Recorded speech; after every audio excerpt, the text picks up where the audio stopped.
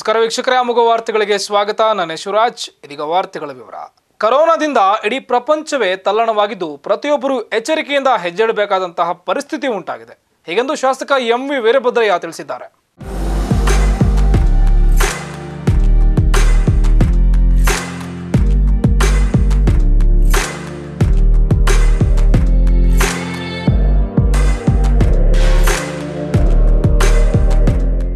ಮಧುಗಿರಿ ತಾಲೂಕಿನ ಕೊಡಗೇನಹಳ್ಳಿ ಹೋಬಳಿಯ ಅಣ್ಣೆನಹಳ್ಳಿ ಸಿ ವೀರಾಪುರ ಗ್ರಾಮದಲ್ಲಿ ಸುಮಾರು ಇಪ್ಪತ್ತೈದು ಲಕ್ಷ ವೆಚ್ಚದ ಸರ್ಕಾರಿ ಶಾಲೆಯ ನೂತನ ಕೊಠಡಿಗಳನ್ನು ಉದ್ಘಾಟಿಸಿ ಮಾತನಾಡಿದರು. ಸರ್ಕಾರಿ ಶಾಲೆಗಳ ಅಭಿವೃದ್ಧಿ ನಮ್ಮೆಲ್ಲರ ಹೊಣೆ. ಶಾಲಾ ಮಕ್ಕಳಿಗೆ ತೊಂದರೆ ಆಗಬಾರದು ಅಂತ ಇಂದು ಎರಡೂ ಕಡೆ ನೂತನ ಕೊಠಡಿಗಳನ್ನು ಉದ್ಘಾಟಿಸಲಾಗಿದೆ ಎಂದರು. ಮಕ್ಕಳನ್ನು ಶಿಕ್ಷಣ ವಂಚಿತರನ್ನಾಗಿ ಮಾಡಬೇಡಿ. ಇಂದಿನ ಮಕ್ಕಳೇ ಮುಂದಿನ ಪ್ರಜೆಗಳು. ಸರ್ಕಾರ ಎಲ್ಲ ಸೌಲಭ್ಯಗಳನ್ನು ನೀಡುತ್ತಿದ್ದು ಇದರ ಪ್ರಯೋಜನಗಳನ್ನು ಪಡೆದುಕೊಳ್ಳಿ. ಹಂತ ಹಂತವಾಗಿ ದುರಸ್ತಿ ಇರುವ ಕೊಠಡಿಗಳನ್ನು ಅಭಿವೃದ್ಧಿಪಡಿಸುತ್ತೇನೆ ಅಂತ ಭರವಸೆ ನೀಡಿದರು. ಇದರ ಉಪಯೋಗ ನಮ್ಮ ಇದರಲ್ಲಿ ಅಭ್ಯಾಸ ಮಾಡ್ತಕ್ಕಂಥ ಮಕ್ಕಳಿಗೆ ಆಗಲಿ ಅನ್ನೋದು ಬಹಳ ಸದುದ್ದೇಶ. ಆ ಹಿನ್ನೆಲೆಯಲ್ಲಿ ಇವತ್ತು ಈ ಕಟ್ಟಡವನ್ನು ಕಟ್ಟಿದ್ದೇವೆ. ಎರಡನೇದಾಗಿ ಅಲೆಮಾರಿ ಜನಾಂಗದಲ್ಲಿ ಒಂದು ಹದಿಮೂರು ಜನಕ್ಕೆ ಮನೆಗಳ ಆದೇಶ ಪತ್ರವನ್ನು ಕೊಡ್ತಾ ಇದ್ದೇವೆ. ಅದನ್ನ ಕೂಡಲೆಲ್ಲ ಕೊಟ್ಟರೆ ಅದನ್ನು ಕೂಡ ಆದೇಶ ಪತ್ರವನ್ನು ಕೊಡ್ತೇವೆ. ರೇಷನ್ ಕಾರ್ಡು ಮತ್ತೆ ಆಧಾರ್ ಕಾರ್ಡ್ ನಿಮ್ಮ ದಾಖಲಾತಿಗಳನ್ನು ಕೊಟ್ಟರೆ ಇನ್ನೂ ಹದಿನಾಲ್ಕು ಜನಕ್ಕೆ ಕೊಡ್ತೀವಿ. ಆದೇಶ ಆಗಿ ಬಂದಿದೆ ಸರ್ಕಾರದಿಂದ ಮಂಜೂರಾಗಿ ಬಂದಿದೆ. ನೀವು ದಾಖಲಾತಿಗಳನ್ನು ಕೊಟ್ಟರೆ ಅದನ್ನು ಕೊಡ್ತೀವಿ ಅಂತಾನೆ ಹೇಳಿದ್ದು. ಇವೆಲ್ಲ ನೀವೆಲ್ಲ ಬೇಗ ಬೇಗ ಮನೆ ಕಟ್ಕೊಳ್ಳಿ. ಮನೆ ಕೊಟ್ಕೊಂಡು ನಮ್ಮನ್ನೆಲ್ಲ ಗೃಹ ಪ್ರವೇಶಕ್ಕೆ ಕರೀರಿ. ಅರ್ಥ ಆಯ್ತಾ? ದಯಮಾಡಿ ನಾವು ಎಲ್ಲ ವಿಧವಾದಂಥ ಈ ನಿಮ್ಮ ಮಾಡ್ತೇವೆ. ಸರ್ಕಾರದ ವತಿಯಿಂದ ಸಿಗಬೇಕಾದಂಥ ಎಲ್ಲ ಸವಲತ್ತುಗಳನ್ನು ತಲುಪಿಸ್ತೇವೆ ಯೋಜನೆಗಳು ನಿರ್ದಿಷ್ಟವಾಗಿ ನಿಮ್ಮೆಲ್ಲರಿಗೂ ತಲುಪೋ ರೀತಿಯಲ್ಲಿ ನೋಡ್ಕೊಂತೀವಿ ಅಂತಕ್ಕಂಥ ಮಾತನ್ನು ಹೇಳ್ತಾ ಬೇಗ ಮನೆ ಕಟ್ಟಿ ಅಲೆಮಾರಿ ಜನಾಂಗದವರು, ಇನ್ನು ಹದಿನಾಲ್ಕು ಜನ ಯಾರು ರೆಕಾರ್ಡ್ ಕೊಡಬೇಕು, ಅವರು ನಿಮ್ಮ ರೆಕಾರ್ಡ್ಗಳನ್ನ ತಂದುಕೊಟ್ರೆ ಅವ್ರಿಗೂ ಸಹ ಮಂಜೂರಾತಿ ಪತ್ರವನ್ನ ಕೊಡ್ತೇವೆ ಅಂತಕ್ಕಂಥ ಕೊರೋನಾದಿಂದ ಸರ್ಕಾರದ ಅನುದಾನ ಕಡಿಮೆ ಇದೆ. ಕಳೆದ ಜೂನ್ ತಿಂಗಳಲ್ಲಿ ವೀರಾಪುರದ ಹದಿಗೆಟ್ಟ ರಸ್ತೆ ತಾತ್ಕಾಲಿಕವಾಗಿ ನನ್ನ ಹಣದಿಂದ ಈ ರಸ್ತೆಯ ಗುಂಡಿಗಳನ್ನು ಮುಚ್ಚಿಸಿದ್ದೇನೆ. ಗುದ್ದಲಿ ಪೂಜೆ ಮಾಡಿ ವರ್ಷ ಕಳೆದರೂ ರಸ್ತೆ ಅಭಿವೃದ್ಧಿಯಾಗಿಲ್ಲ ಅಂತ ಕೆಲವರು ಪ್ರಚಾರ ಮಾಡಿದ್ದು ಇದೀಗ ಟೆಂಡರ್ ಕರೆಯಲಾಗಿದೆ. ಚಿಕ್ಕಮಾಲೂರು, ವೀರಾಪುರದ ಮೂಲಕ ತಿಂಗಳರಹಳ್ಳಿ, ವೆಂಕಟಾಪುರದಿಂದ ಮುಖ್ಯ ರಸ್ತೆಗೆ ಡಾಂಬರ್ ರಸ್ತೆಯನ್ನು ಅತಿ ಶೀಘ್ರವಾಗಿ ಮಾಡಲಾಗುವುದು.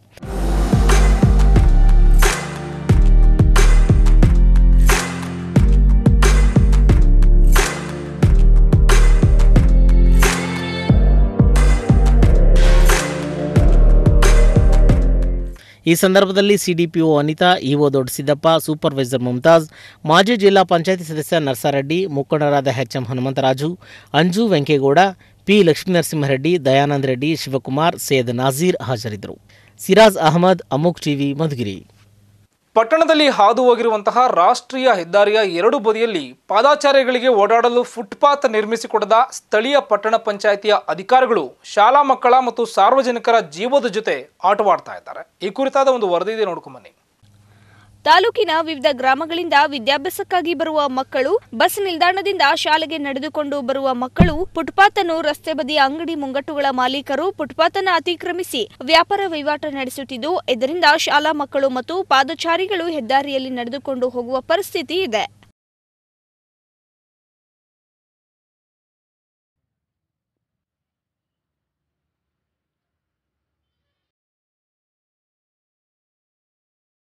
ಗುಬ್ಬಿವೀರನ ವೃತ್ತದ ಬಳಿಯ ನ್ಯಾಯಾಲಯದ ಮುಂಭಾಗ ನ್ಯಾಯಾಲಯಕ್ಕೆ ಬರುವ ಕಕ್ಷಿದಾರರ ವಾಹನಗಳು, ಪಾದಚಾರಿಗಳು ಸಂಚರಿಸುವ ಸ್ಥಳವನ್ನ ಆಕ್ರಮಿಸಿದೆ. ಇದರಿಂದ ಯಾವ ಕ್ಷಣದಲ್ಲಾದರೂ ಈ ಹೆದ್ದಾರಿಯು ಮಕ್ಕಳ ಜೀವಕ್ಕೆ ಕೂತು ತರುವ ಸಾಧ್ಯತೆ ಇದೆ. ಈ ವಿಚಾರವಾಗಿ ಪಟ್ಟಣ ಪಂಚಾಯಿತಿ ಸಾಮಾನ್ಯ ಸಭೆಯಲ್ಲಿ ಸದಸ್ಯರು ಧ್ವನಿ ಎತ್ತುವ ಮೂಲಕ ಅಧಿಕಾರಿಗಳಿಗೆ ಎಚ್ಚರಿಸಿದರು. ಈವರೆಗೂ ಯಾವುದೇ ಕ್ರಮ ಕೈಗೊಳ್ಳದೆ ಮಕ್ಕಳು ಮತ್ತು ಇಲ್ಲಿ ಸಂಚರಿಸುವ ಸಾರ್ವಜನಿಕರ ಜೀವ ಹಿತ ಕಾಯದೆ ಬೇಜವಾಬ್ದಾರಿತನ ಪ್ರದರ್ಶಿಸಿದ್ದಾರೆ ಎಂದು ಪಟ್ಟಣ ಪಂಚಾಯಿತಿ ಸದಸ್ಯ ಜಿಆರ್ ರೇಣುಕಾ ಪ್ರಸಾದ್ ಆಕ್ರೋಶ ವ್ಯಕ್ತಪಡಿಸಿದ್ದಾರೆ. ನರಸಿಂಹಮೂರ್ತಿ ಅಮೋಗ್ ಟಿವಿ, ಗುಬ್ಬಿ. ಕನ್ನಡ ಸಾಹಿತ್ಯ ಪರಿಷತ್ತಿನ ಅಧ್ಯಕ್ಷರ ಸ್ಥಾನಕ್ಕೆ ನಡೆಯಲಿರುವಂತಹ ಚುನಾವಣೆಗೆ ಸ್ಪರ್ಧಿಸುತ್ತಿರುವ ಶೇಖರಗೌಡ, ಮಾಲಿ ಪಾಟೀಲ ಇಂದು ಗುಡಿಬಂಡೆ ಪಟ್ಟಣದ ಪ್ರವಾಸಿ ಮಂದಿರದಲ್ಲಿ ಮತದಾರರು ಹಾಗೂ ಕಾರ್ಯಕರ್ತರನ್ನ ಭೇಟಿ ಮಾಡಿದ್ರು.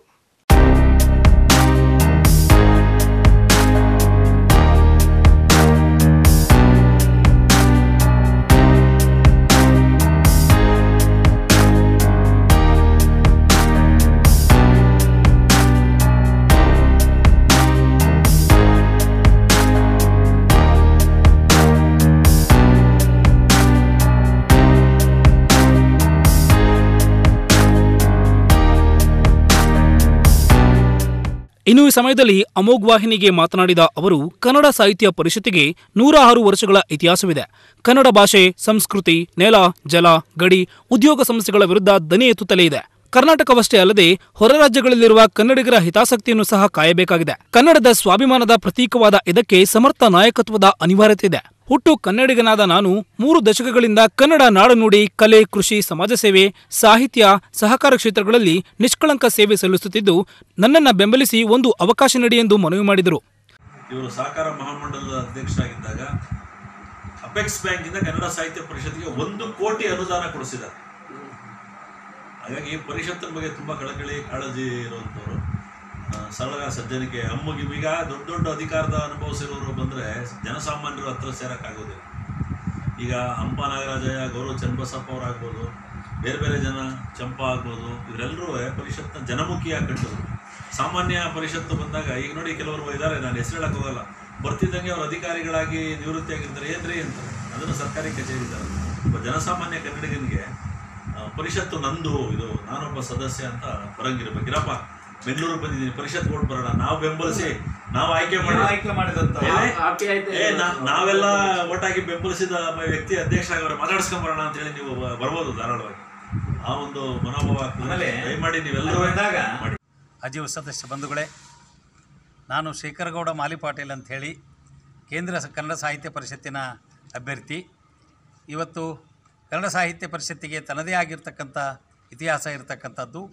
ಕನ್ನಡದ ಪ್ರಾತಿನಿಧಿಕ ಸಂಸ್ಥೆ, ಇದೀಗ ಆ ಸಂಸ್ಥೆಗೆ ಚುನಾವಣೆ ನಡೀತಕ್ಕಂಥದ್ದಾಗಿದೆ.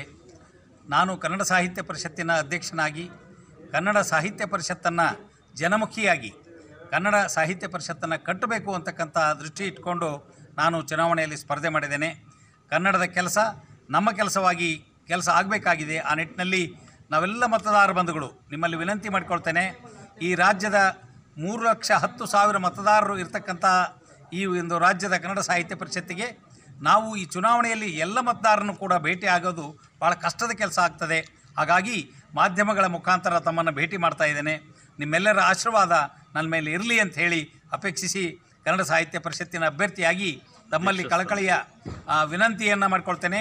ನಾನು ಕ ಕನ್ನಡ ಸಾಹಿತ್ಯ ಪರಿಷತ್ತಿನ ಅಧ್ಯಕ್ಷೀಯ ಅಭ್ಯರ್ಥಿಯಾಗಿ ನಿಮ್ಮಲ್ಲಿ ವಿನಂತಿ ಮಾಡಿಕೊಂಡು ನನಗೆ ನೀವು ಮತ ನೀಡುವುದರ ಮೂಲಕ ಕನ್ನಡ ಕಟ್ಟುವ ಕೆಲಸದಲ್ಲಿ ನನ್ನನ್ನು ತೊಡಗಿಸಿಕೊಳ್ಬೇಕು ಅಂತ ಹೇಳಿ ವಿನಂತಿ ಮಾಡ್ತೇನೆ. ಧನ್ಯವಾದಗಳು. ಇನ್ನು ಈ ಸಮಯದಲ್ಲಿ ಬೆಂಗಳೂರು ಜಿಲ್ಲಾ ಸಾಹಿತ್ಯ ಪರಿಷತ್ತಿನ ಮಾಜಿ ಅಧ್ಯಕ್ಷ ತಿಮ್ಮೇಶ್ ಗೌಡ ಬೆಂಗಳೂರು ಜಿಲ್ಲೆಯ ಸಾಹಿತ್ಯ ಪರಿಷತ್ತಿನ ಸಂಚಾಲಕ ಪ್ರಭಾಕರ್ ಗೌರಿಬಿದನೂರು ತಾಲೂಕಿನ ಬಿಜೆಪಿ ಮುಖಂಡ ಶಿವಕುಮಾರ್ ನಿರ್ದೇಶಕ ತಿಮ್ಮರೆಡ್ಡಿ ಗುಡಿಬಂಡೆ ತಾಲೂಕಿನ ಬಿಜೆಪಿ ಮುಖಂಡರಾದ ಮಂಜುನಾಥ್ ಮತ್ತಿತರರು ಹಾಜರಿದ್ದರು. ವಿ. ರಾಜಶೇಖರ್ ಅಮುಕ್ ಟಿವಿ ಗುಡಿಬಂಡೆ.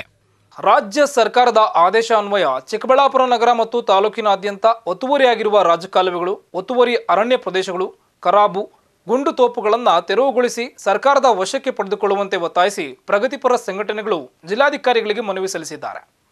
ಸರ್ಕಾರದ ಆದೇಶದನ್ವಯ ಒತ್ತುವರಿಯಾಗಿರುವ ರಾಜಕಾಲುವೆ, ಕೆರೆ, ಕುಂಟೆ ಗುಂಡುತೋಪು ಕರಾಬು ಜಮೀನುಗಳನ್ನು ಕೂಡಲೇ ವಶಪಡಿಸಿಕೊಳ್ಳುವಂತೆ ಒತ್ತಾಯಿಸಿ ಪ್ರಗತಿಪರ ಸಂಘಟನೆಗಳು ಡಿಸಿಗೆ ಮನವಿ ಸಲ್ಲಿಸಿದರು.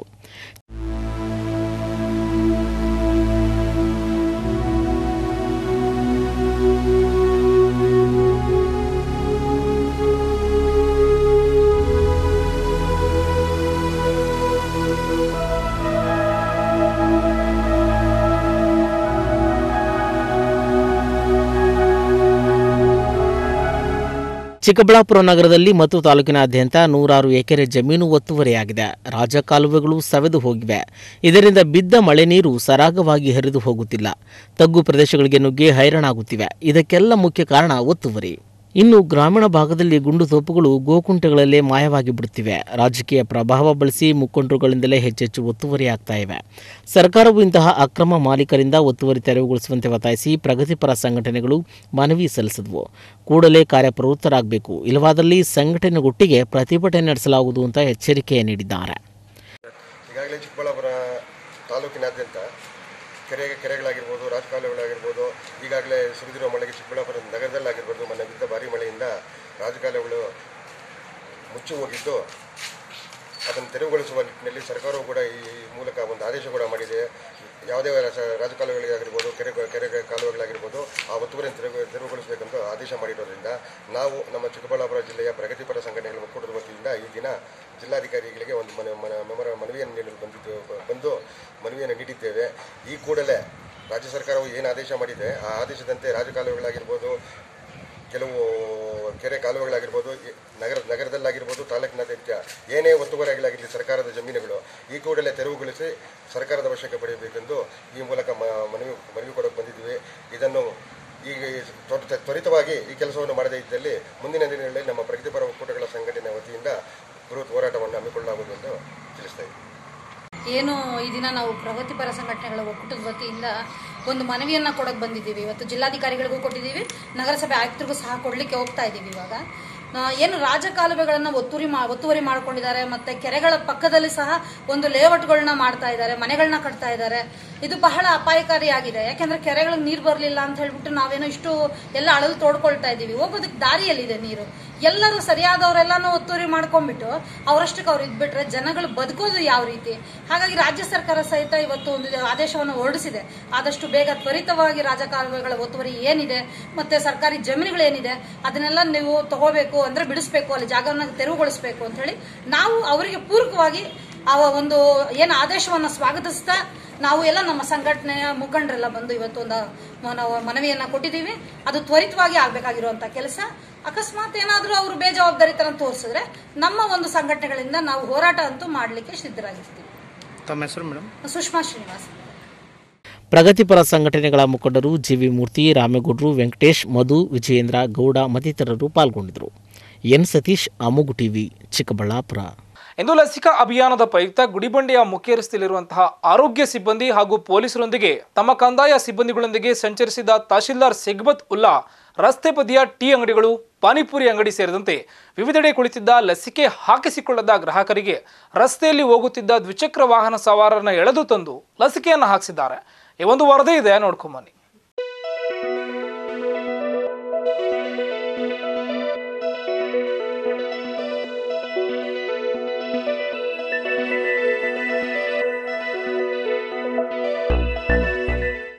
ಬಹಳಷ್ಟು ಜನ ನಾಳೆ ಹಾಕಿಸಿಕೊಳ್ತೇವೆ. ಆಧಾರ್ ಕಾರ್ಡ್ ಇಲ್ಲ ಎಂಬ ಕುಂಟು ನೆಪಗಳಿಗೆ ಸೊಪ್ಪು ಹಾಕದ ತಹಶೀಲ್ದಾರ್ ಮಿಂಚಿನ ಕಾರ್ಯಾಚರಣೆ ನಡೆಸಿದರು. ಪಾನಿಪುರಿ ಅಂಗಡಿಯ ಮುಂದೆ ಲಸಿಕೆ ಪಡೆದವರಿಗೆ ಉಚಿತ ಪಾನಿಪುರಿ, ಟೀ ಅಂಗಡಿ ಮುಂದೆ ಹಾಕಿಸಿಕೊಂಡವರಿಗೆ ಉಚಿತ ಟೀ, ಹಣ ನಾನೇ ಕೊಡುತ್ತೇನೆ ಎಂಬ ಇವರ ಆಫರ್ ನೋಡುಗರಿಗೆ ಮೂಧ ನೀಡಿತು. ಈ ಕಾರ್ಯಾಚರಣೆಯಲ್ಲಿ ಪಟ್ಟಣ ಪಂಚಾಯಿತಿ ಮುಖ್ಯಾಧಿಕಾರಿ ರಾಜಶೇಖರ ಹಾಗೂ ಆರೋಗ್ಯ ನಿರೀಕ್ಷಕ ಶಿವಣ್ಣ ಹಾಗೂ ಶಂಕರಯ್ಯ ನಾನೇನು ಕಡಿಮೆ ಎಂಬಂತೆ ಲಸಿಕೆಗಾಗಿ ಜನರನ್ನು ಓಲೈಸ್ತಾ ಇದ್ದರು ವಿ. ರಾಜಶೇಖರ್, ಅಮೋಗು ಟಿವಿ, ಗುಡಿಬಂಡೆ.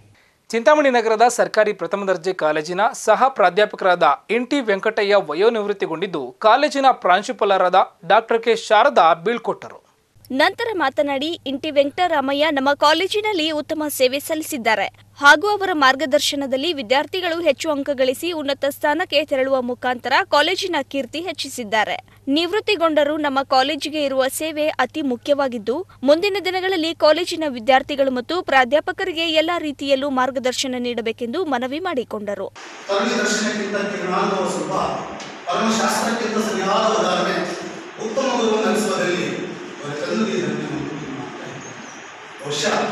ಆ ನಮ್ಮ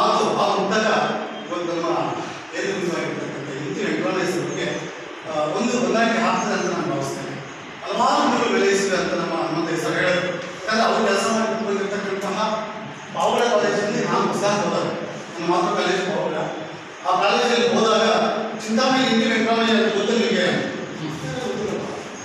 ಏ, ಎಂತ ಲೆಕ್ಚರ್ ಅವರು ಇವತ್ತು ನಮ್ಗೆ ಅಪಾಯಿಂಟ್ಮೆಂಟ್ ಎಕನಾಮಿಕ್ಸ್ ಲೆಕ್ಚರ್ ಅವರು ಒಂದು ಇಪ್ಪತ್ನಾಲ್ಕು ಇಪ್ಪತ್ತೈದು ವರ್ಷ ಹುಡುಗ ಇವ್ರನ್ನ ಮಾಡಲ್ಲ ಇಟ್ಕೊಂಡು ಅವರು ಎಕನಾಮಿಕ್ಸ್ ಅಲ್ಲಿ ಮೇ ಮಾಡಿಕೊಂಡು ಅಸಿಸ್ಟೆಂಟ್ ಪ್ರೊಫೆಸರ್ ನಿಂತವ್ರು. ಆ ಕಾಲೇಜ್ ಬಗ್ಗೆ ಹೇಳ್ಕೊಂಡು ಬಂದವರು ಅವ್ರು ಬೇರೆ ಹೋಗ್ತಾರೆ ಅಂತ ಅಸಂಖ್ಯಾತ ಆ, ಕೊಟ್ಟು ಇರ್ತಕ್ಕಂಥ ವಿವಿಧ ಕಾಲೇಜುಗಳು ನವೋದಯ ವಿದ್ಯಾಸಂಸ್ಥೆಯಲ್ಲಿ ಕೆಲಸ ಮಾಡಿರ್ತಕ್ಕಂಥ ಆ ಸಂಸ್ಕೃತಿ, ಆ ಪರಂಪರೆ ಅದನ್ನು ಹಂಗೆ ಕಾಪಿಟ್ಕೊಂಡು ಇವತ್ತು ಅವ್ರ ಶಿಸ್ತು ಅವ್ರ ಟೈಮ್ ಸೆನ್ಸು ಅದು ನಮ್ಮಂತ ಯುವಕರ ಅಧ್ಯಾಪಕ ಇವತ್ತನೇ ಇಡೀ ಕಾಲೇಜಿಗೆ ಮಾತಾಡ್ಕೊಂಡು ನಮ್ಮಂಥವರಿಗೆ ನಿಜವಾದ ದಾರಿ ದೀಪ ಎಲ್ಲ ಪ್ರಾಧ್ಯಾಪಕ ಕೂಡ ಸ್ವಾಗತವನ್ನು ಕೊಡ್ತಾ ವೇದಿಕೆ ಎಲ್ಲ ಯುವಕರು, ಪ್ರಾಧ್ಯಾಪಕರು, ಹಿರಿಯರು ಮುಖಂಡರು ಆಗುವಂತಹ ಎಲ್ಲ ಗಣ್ಯರಿಗೆ ಸ್ವಾಗತ ಸುಸ್ವಾಗತ ಇವತ್ತಿನ ಕೇಂದ್ರ ಬಿಂದು ಎನ್ ಟಿ ವೆಂಕಟರಮಯ್ಯ ಅವರು ಇವರು ದಿನಾಂಕ ಹದಿನೈದು ಎಂಟು ಸಾವಿರದ ಒಂಬೈನೂರ ಅರವತ್ತ ಒಂದರಲ್ಲಿ ಆಂಧ್ರ ಪ್ರದೇಶದ ಕಡಪ ಜಿಲ್ಲೆಯ ಚಿನ್ನಮಂಡಲದಲ್ಲಿ ಜನಿಸಿರ್ತಾರೆ ಅವರ ತಾಯಿ ಉಜ್ಜಮ್ಮ ತಂದೆ ಪೆದ್ದಣ್ಣ ಅವರಿಗೆ ಎರಡನೇ ಮಗನಾಗಿ ಜನಿಸಿರ್ತಾರೆ. ಪ್ರಾಥಮಿಕ ಶಿಕ್ಷಣವನ್ನು ಚಿನ್ನಮೆಂಡಂನಲ್ಲಿ ಮುಗಿಸಿ ಪ್ರೌಢ ಶಿಕ್ಷಣವನ್ನು ಗುರ್ರಂಕೊಂಡ ಎಂಬಲ್ಲಿ ಮುಗಿಸಿರ್ತಾರೆ.